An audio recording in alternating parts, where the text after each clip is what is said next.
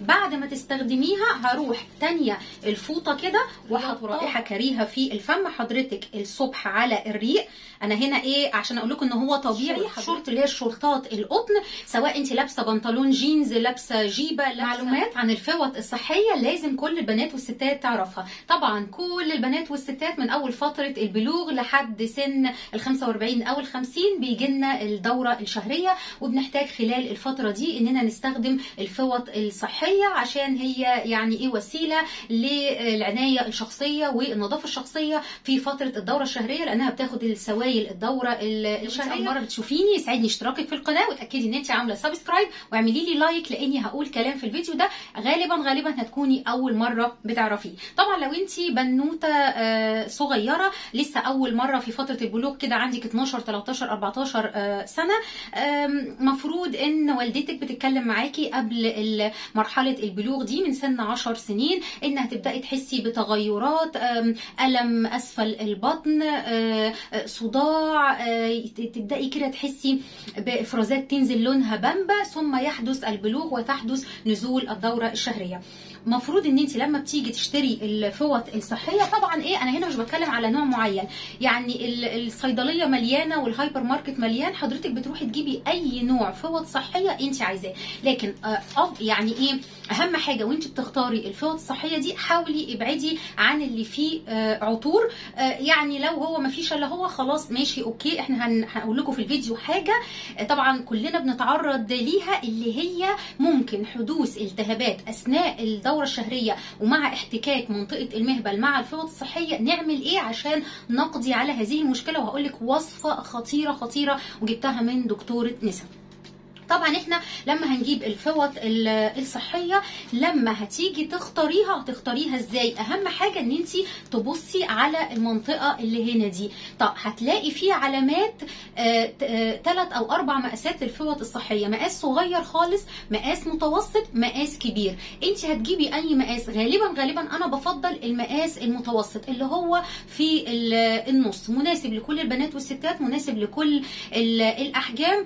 الصبح تبقي نازلة مدرستك وكليتك وانت مطمنة برضو وانت نايمة بالليل تبقي مطمنة لكن ممكن لو حد إيه جسمه ضخم شوية مليان أو طويل ممكن هو يستخدم اللي هو المقاس الأولاني اللي هو أكبر مقاس أو أطول مقاس. يبقى أفضل مقاسين. أنا بفضلهم أو على طول بستخدمهم اللي هو المقاس اللي في النص اللي هو المتوسط اللي بيمشي مع كل البنات والستات.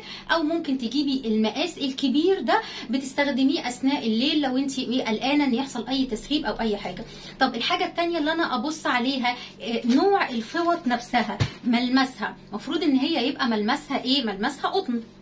طبعا إحنا لما بنجيب الفوط الصحية في نوعين من أنواع الشركات. في شركة اللي هي بتبقى اللي هي مغلفاها في ورقة كده حضرتك بتشيلي الورقة وبنبدأ نثبتها في الملابس الداخلية. أو في شركات بقى عاملة النظام الجميل ده اللي أنا عملت لكم فيديو shorts عنه. ومش طبعا في بنات كانت عارفة المعلومة دي وفي بنات كانت أول مرة بتعرفها إن حضرتك بتفتحي ال- الكيس بتاع الفوط الصحية دي. بتلاقي جواه الكيس. طب الشركة مصممة آه، ال- الفوطة الصحية في كيس كده ليه؟ عشان حضرتك تستخدميها هروح تانية الفوطة كده وأحطها ورمياها في basket الزبالة. فبكده البنات بقى اللي بتتكسف من بابا وأخويا الكبير والعرايس اللي لسه متجوزين وجوزي هيقرف من من شكل الفوط الصحية لأن الرجالة ما بتفهمش في الكلام ده. فحضرتك الفوطة الصحية وهي جوه ده في basket الزبالة هي مش باينة وأكنها منديل كلينكس كده إيه مرمي ومفيش أي آه، مشكلة منه. فدي من الحاجات الحلوة جدا.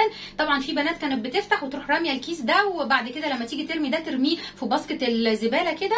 وطبعا البنات اللي بتجيب أنواع ملوش كيس زي ده. لازم إحنا قلنا منديل كلينكس كده وهتحطي فيه دي وترميها. مش عايز- عايزينها تبان خالص لأن دي من أصول النظافة الشخصية والذوقيات كده إن إحنا نتخلص من فضلاتنا يعني بدون ما حد إيه يعني يضايق إيه حد خصوصا إيه لأن الرجالة مش بتفهم الكلام ده. طبعا بالنسبة للبنات الصغيرة انت لما بتجيبي الفوطة الفوطة دي تصميمها يعني حلو جدا جدا. ليه؟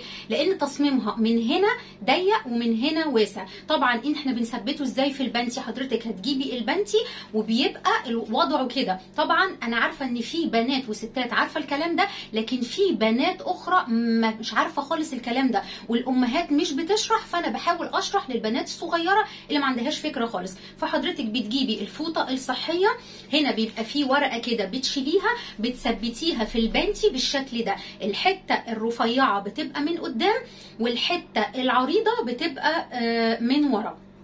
ثم بيبقى فيها ليها زي أجنحة كده حضرتك هتشيلي برضو الورقة اللي هنا وتثبتيها في البنتي وبكده تبقى الدنيا تمام قوي. وبنصح كل البنات والستات في فترة الدورة الشهرية خصوصا اليوم الثاني والثالث بيبقى فيه الإفراز غزير لازم بنبقى لابسين حط ال- البان ال- الفوطة الصحية ما- حاطينها في البنتي عادي شورت اللي هي الشورتات القطن سواء أنت لابسة بنطلون جينز لابسة جيبة عباية لابسة يعني اللي أنت لابساه المهم إن الشورت ده بي- بيخلي ما فيش احتكاك ما بين ال- الفخدين فبيقلل إسمرار ما بين الفخدين ثم إن أنت بتبقي مطمنة إن لو الفوطة الصحية اتحركت اتزحزحت حصل تسريب حصل أي حاجة أنت مطمنة. أنت في النادي في جامعتك خارجة كده أنت تمام زي في شغلك قاعدة تمام مطمنة إن مفيش أي إيه مشكلة. المشكلة اللي بتحصل لمعظم البنات والستات خصوصا في شهور الصيف. 6 7 8 حر رطوبة تلزيق إفراز عرق كبير. أثناء الدورة الشهرية غالبا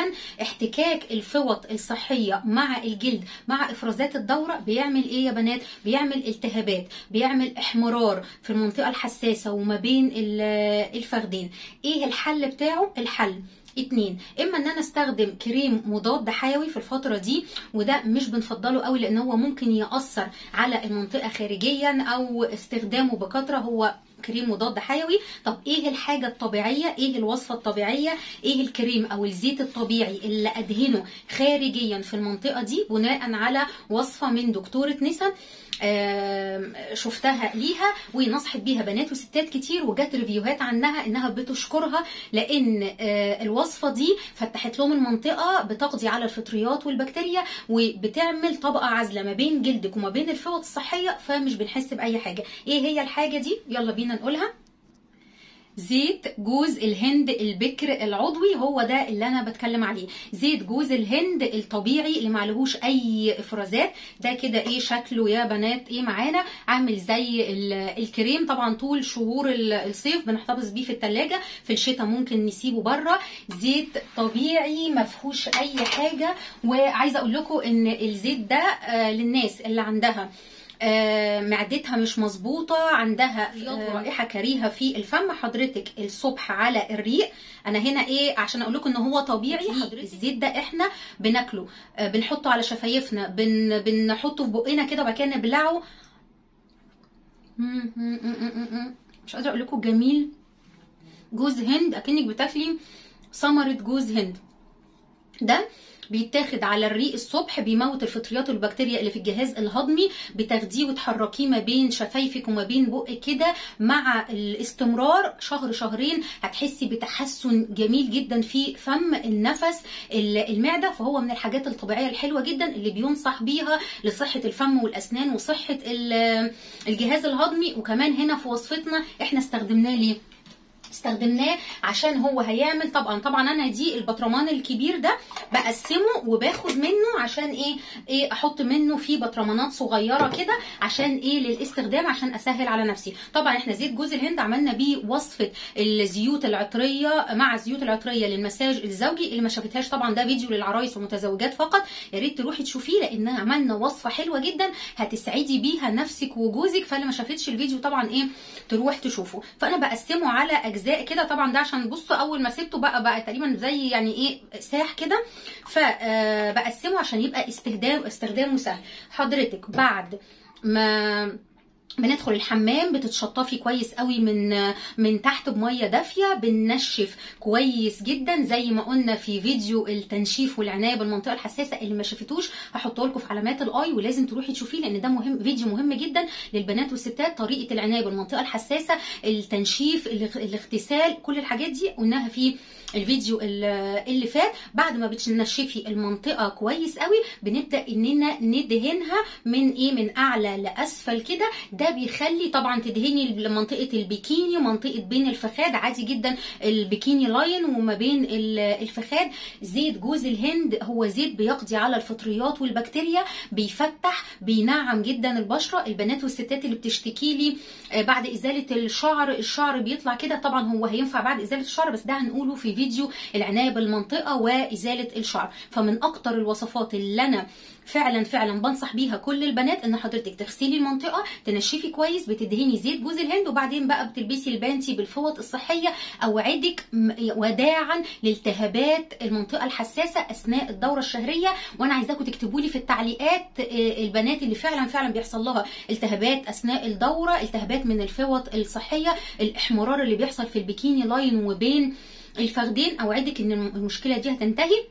المهم إن انت تغسلي المنطقة تنشفي كويس بندهن زيت جوز الهند ونلبس إيه؟ البنتي. طبعا إحنا بعدها بساعتين ثلاثة بتغيري الفوط الصحية تاني هتعملي نفس الحاجات. هتغسلي المكان هتنشفي كويس ثم هتدهني الزيت. ادهني كده طبقة محترمة بس الدهان خارجي. بندهن منطقة البيكيني أو المهبل دهان خارجي وثم بنلبس ال ال البنتي وبالفوط الصحية ونكرر العملية دي كل ما نغير الفوط الصحية خصوصا في اليومين اللي في النص اللي بيبقى فيهم الإفراز كتير يعني فده من الحاجات اللي يعني هتبقى كويسة جدا. كمان انت ممكن بعد بعد ما يعدي الخمس أيام أو الست أيام بتوع الدورة تغتسلي وتتطهري وتدهني المكان هيعمل إيه؟ نعومة حلوة جدا. وممكن طبعا إحنا قلنا إن اللي عايزة تزيل الشعر بتزيله الأسبوع اللي قبل الدورة الشهرية عشان لما الدورة الشهرية تجيلك ما, تزيليش الشعر. أثناء الدورة الشهرية نفس الشيء. هنزيل الشعر وندهن بزيت جوز الهند حاجة رائعة كده